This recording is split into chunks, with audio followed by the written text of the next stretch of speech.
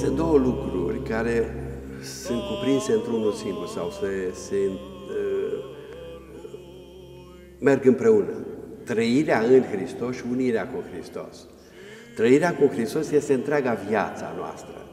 O viață plăcută lui Dumnezeu, urmându-L pe Hristos și practic fiind un om plăcut lui Dumnezeu, plăcut societății, plăcut ambianței familiale unde el își duce viața. Deci un om credincios care are întâi de toate ca și ideal câștigarea vieții de dincolo. Deci el are un ideal mult mai puternic decât cel care se gândește de tânăr că trebuie să facă o profesie, după aceea că trebuie să-și facă o, o situație familială și socială și toate lucrurile acestea sunt niște idealuri care sunt cuprinse în marea bucurie sau în marea preocupare sau în marea șansă a noastră de a câștiga viața veșnică, care e nu numai mare, pentru că e veșnicie față de lucruri uh, care se consumă în lumea aceasta, ci este uh, atât de puternică. Aici pregustăm unirea cu Hristos prin împărtășanie. E o pregustare. Și putem face o comparație cu uh, degustarea unui vin, de exemplu. Să gustă și să așteaptă, să urmărește, uh, să descopere tot, tot, uh,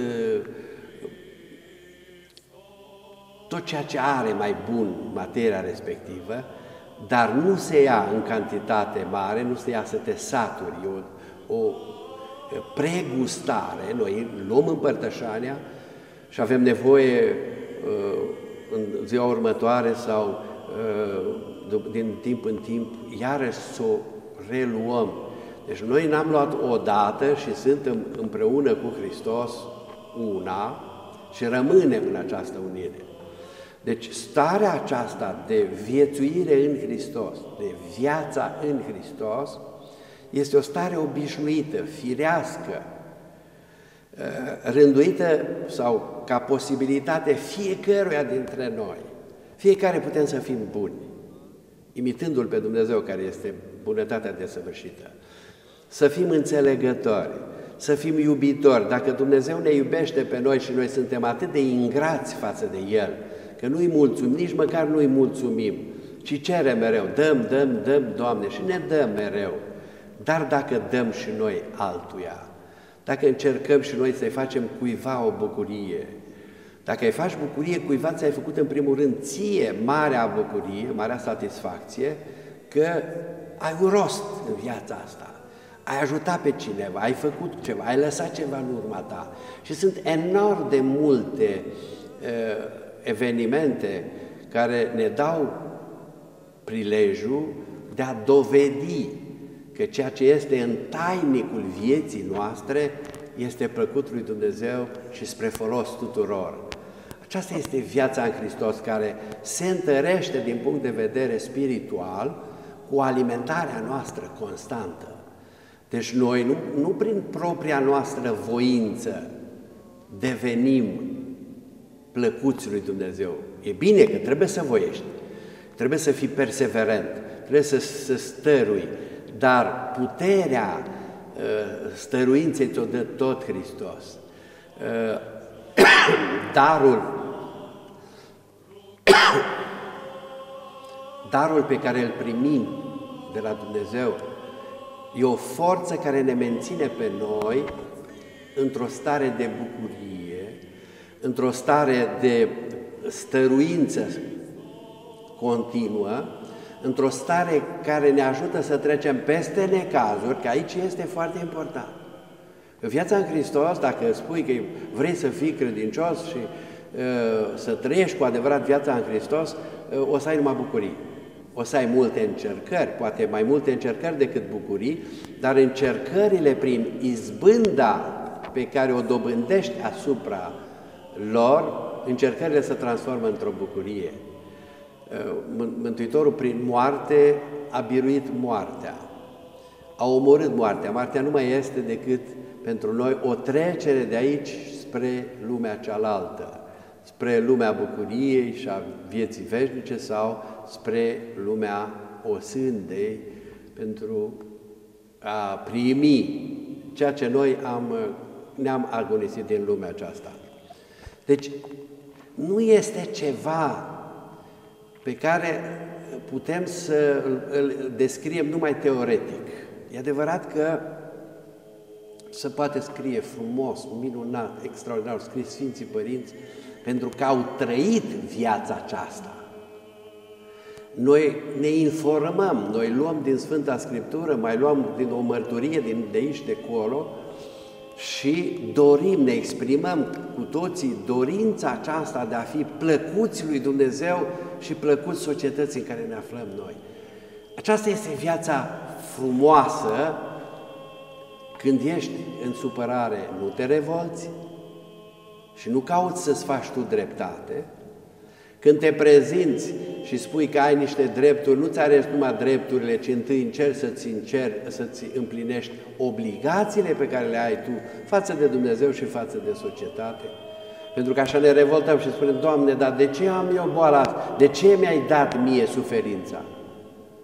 Poate să fie suferința și cauza unei, uh, unor păcate de ale, pe care le-am săvârșit noi. Dar poate să fie și o boală care vine asupra ta pentru că Dumnezeu vrea să te pună la încercare. Și dacă îi spui, da, Doamne, dăm putere ca să răzbat peste suferința aceasta, în momentul în care ai biruit suferința și necazul și boala, ești victorios. Se adaugă niște virtuți. Că virtutea, spre deosebire de fapta bună, este stăruința în, fapt, în fapta bună. Dacă ai făcut odată un gest, i-ai dat cuiva, ai făcut o donație, ai dat cuiva, l-ai ajutat pe cineva, cu mâncare sau cu bani, dar ai făcut întâmplător, nu ești om bun, ci odată ai fost și tu, l-ai imitat pe Dumnezeu, pe Hristos. Dacă mereu stăruiești în uh, iubirea aproapelui, ea devine o virtute.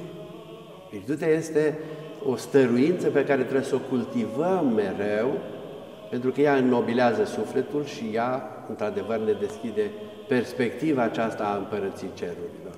Iar comuniunea cu Hristos, prin Sfânta Împărtășanie, ne alimentează nouă viața aceasta plăcută lui Dumnezeu.